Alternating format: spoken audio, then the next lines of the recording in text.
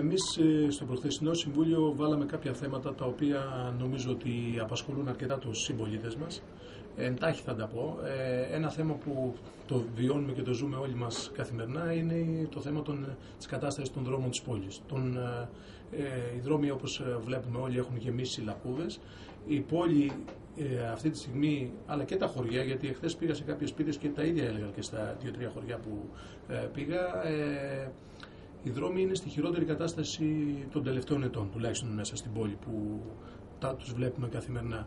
Και αυτό γίνεται γιατί ναι μεν είναι η κακοκαιρία που μπορεί να θεωρηθεί για από τη Δημοτική Αρχή ως δικαιολογία, όμως κάθε χρονιά ο Δήμος τους καλοκαιρινούς μήνες φρόντιζε να κάνει επούλωση ε, των λακκουβών, ε, ώστε αυτές που δημιουργούνται το χειμώνα να είναι λίγες. Ε, φέτος δεν έγινε αυτό σε μεγάλη έκθεση, έκτισαν πολύ λίγες λακκούβες τους καλοκαιρινούς μήνες και δυστυχώς βρισκόμαστε στην κατάσταση που βρισκόμαστε σήμερα, κεντρικότατη δρόμη της πόλης, όπως ε, παραδείγματος χάρη Δαριώτο, εγώ το έχω φέρει αυτό το θέμα δύο-τρεις φορές από το καλοκαίρι στο Δημοτικό Συμβούλιο, να είναι ουσιαστικά προσπέλαστη όχι μόνο από το αυτοκίνητο, αλλά και με τα πόδια δεν μπορείς να περπατήσεις. Δυστυχώς και πάλι δεν πήραμε καμία απάντηση. Εντάξει, τώρα είναι δύσκολη εποχή γιατί είναι χειμώνας και δεν μπορεί να γίνει αυτό. Ελπίζουμε να μην αφήσουν πάλι άλλη χρονιά τον, ε, τις, τους καλοκαιρινούς μήνες ε, τους δρόμους ε, να γίνουν σε αυτή την κατάσταση. Ένα άλλο θέμα που ε, ετέθη γιατί εξ αφορμής μιας ακύρωσης που έγινε για την κανονιστική την ε, απόφαση, την κανονιστική για τη λειτουργία των κοινοχρήστων χώρων, για να καταλάβουν και οι συμπολίτες μας που μας παρακολουθούν ε, την πλατεία Πετρινού, την πλατεία Άρεος, τους χώρους που καταλαμβάνουν δηλαδή οι καφετέρειες και γενικώς τα καταστήματα. Η απόφαση αυτή, ως γνωστόν, ε, έχει ακυρωθεί από την περιφέρεια, επειδή είχε πολλές ε, ελλείψεις. Ο κύριος Δήμαρχος και σε συνέντευξή του, αλλά και προχθές το επανέλαβε στο Δημοτικό Συμβούλιο, ουσιαστικά καταφέρθηκε κατά μένα ε, κάνοντας θεσμικό ατόπιμα γιατί δεν μπορεί ο Δήμαρχος Πόλης να απειλεί γιατί αυτό ουσιαστικά έκανε απειλεί δημοσίους υπαλλήλους της αποκεντρωμένης διοίκησης ότι δεν κάνουν καλά τη δουλειά τους ε, αν νομίζει, αυτό είπα εγώ προχθές στο Δημοτικό Συμβούλιο, ο κύριος Δήμαρχος, ότι οι υπάλληλοι της περιφέρειας της αποκεντρωμένης διοίκησης δεν κάνουν καλά τη δουλειά τους, μπορεί να προσφύγει στα αντίστοιχα όργανα για να ελεγχθούν ε, ε, οι αντίστοιχοι υπάλληλοι. Δεν μπορείς όμως να λες ότι δεν κάνουν καλά τη δουλειά τους και παίζουν κάποια πολιτικά παιχνίδια. Αυτό άφησε να εννοηθεί. Δυστυχώς η πραγματικότητα τον έχει διαψεύσει πολλές φορές τον κύριο Δήμαρχο και σε αυτό το θέμα και εξηγούμε γιατί. Γιατί ε, και για την απόφαση της ΔΕΙΑΤ για τους λογαριασμούς των, ε, του νερού στα χωριά μας, αλλά και για την κανονιστική του, του πανηγυριού της Τεγείας. Τα ίδια έλεγε ο κύριος Δήμαρχος Μόης, ακυρώθηκαν οι αποφάσεις αυτές στο Δημοτικό Συμβούλιο, ότι η αποκεντρωμένη κάνει παιχνίδια και γι' αυτό θα προσφύγω στην Επιτροπή του άρθρου 152. Εξηγώ αυτό στους συμπολίτες που μας βλέπουν ότι είναι μια επιτροπή στην οποία προείσταται δικαστικός, οπότε υπάρχει και η αντίστοιχη φερεγγιότητα που έχουν ε, ε, οι δικαστικοί. Και εκεί λοιπόν είχε πει στο Δημοτικό Συμβούλιο ότι θα προσφύγει για να αποδείξει ότι η αποκεντρωμένη δεν κάνει καλά τη δουλειά τους και ομόφωνα η Επιτροπή αυτή και τις δύο αυτές αποφάσεις της ε, ακύρωσε. Κατέχουμε ως Δήμος το ρεκόρ ακυρώσεων ε, αποφάσεων του Δημοτικού Συμβουλίου. Αυτό θα πρέπει η διοίκηση να το λάβει σοβαρά υπόψη της και να κοιτάξει να διορθωθεί για να μην μας ακυρώνονται οι αποφάσεις και καθυστερούν να εφαρμοστούν.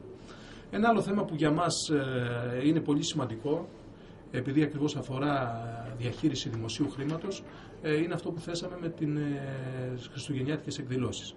Για να πω έτσι ένα πολύ σύντομο ιστορικό για τους συμπολίτες μας, ε, όταν ψηφίστηκαν ο προπολογισμό των χριστουγεννιάτικων εκδηλώσεων πριν, πριν τις γιορτές, είχαν ένα ποσό 18.600 ευρώ που ήταν για τη λειτουργία, όχι για την, να το φτιάξουμε, τη λειτουργία του χριστουγεννιάτικου χωριού στην πλατεία Πετρινού και 7-8 για την άνεμα του δέντρου.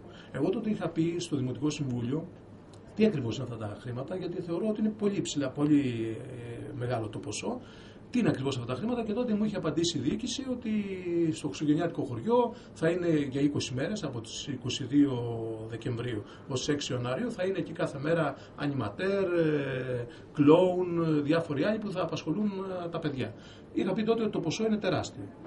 Τώρα, αφού πέρασαν οι γιορτές και αφού παρακολούθησα κάθε μέρα και όπως όλοι οι συμπολίτες μας παρακολούθησαν τι γινόταν εκεί στην πλατεία Πετρινού κάθε μέρα, ελάχιστες μέρες, λίγες μέρες μάλλον, ήταν ένα-δύο άτομα κάθε φορά ε, κάποιος κλόουν, κάποιος που έλεγε παραμύθια στα παιδάκια κλπ. Τα περισσότερες μέρες δεν ήταν κανένας ή αν ήταν, ήταν ένα-δύο όπως είπαν.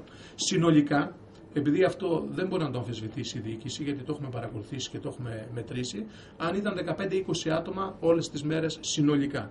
Και ρωτώ, πώς θα πάρουν αυτά, αυτά, αυτή η εταιρεία που είχε αναλάβει 18.000. Έχουμε καταλάβει σήμερα τι σημαίνει 18.000. Εγώ είπα προχθές στο Δημοτικό Συμβουλίο και δεν έλαβα απάντηση. Ήταν 15-20 άτομα. Να πω ότι δεν μέτρησα καλά και δεν ήταν 20, 30 άτομα. Πόσο παίρνει ένας κλόουν για 2-3 ώρες που είναι εκεί πέρα; Παίρνει 50 ευρώ, τεράστιο ποσό. Α πω ότι παίρνει 50 ευρώ. 30 άτομα είναι 3-5-15, 1500 ευρώ. Πού βγαίνουν τα 18.000.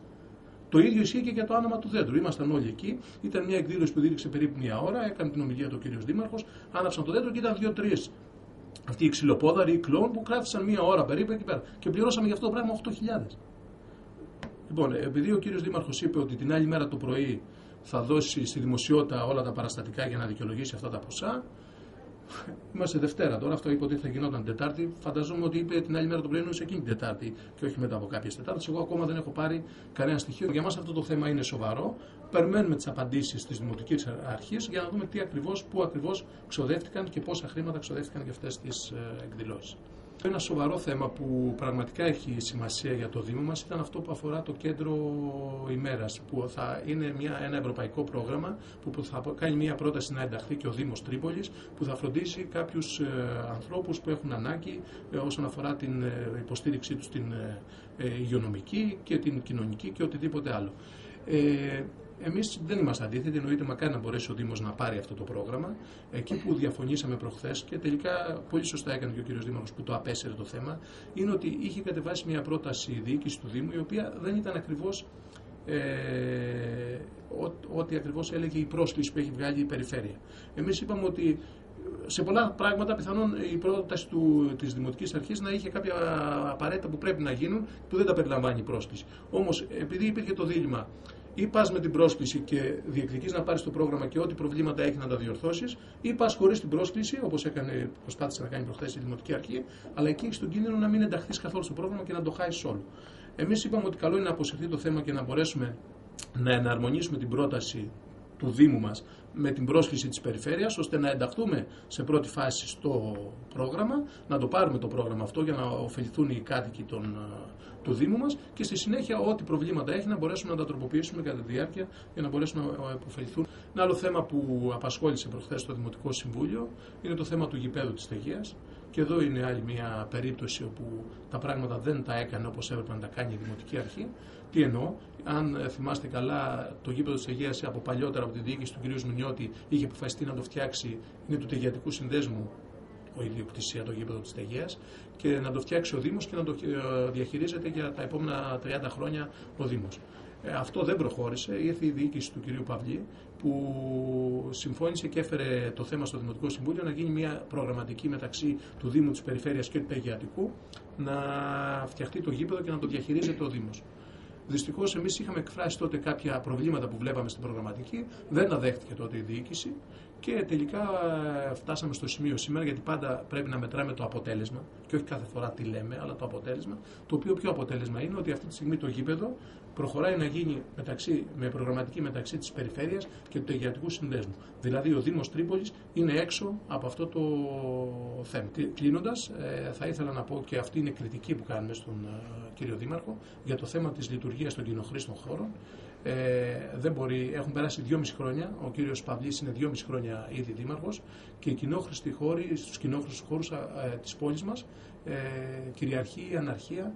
Ε, είναι μια χάβρα, όπως είπα προχθές στο Δημοτικό Συμβούλιο, και σε αυτό είναι υπόλογος ο κ. Δήμαρχος. Ο κ. Δήμαρχος δεν ανέλαβε χθες τη διοίκηση, είναι ήδη δυόμιση χρόνια και δεν μπορεί να λέει ότι θα φτιάξω τους κοινόχρηστου χώρους, θα ρυθμίσω τους κοινόχρηστου χώρους να μας απαντήσει και να απαντήσει βασικά στους πολίτες όπω εμάς. Ε, δυόμιση χρόνια γιατί δεν έχει γίνει τίποτα και υπάρχει αυτή η ζούγκλα στους ε, κοινόχρηστους χώρους. Και τι εννοώ, παράνομες κατασκευές, καταλήψεις των οδεύσεων των τυφλών, ε, ε, στο ΕΣ που έχουν καταληφθεί. Όλα αυτά πρέπει να μπουν σε μία τάξη. Επομένως, δεν μπορεί να κατηγορεί πλέον κύριος Παυλής, κανέναν άλλον. Γιατί ήδη είναι 2,5 χρόνια και έχει δείξει δείγμα γραφής που λέμε στον τομέα αυτό.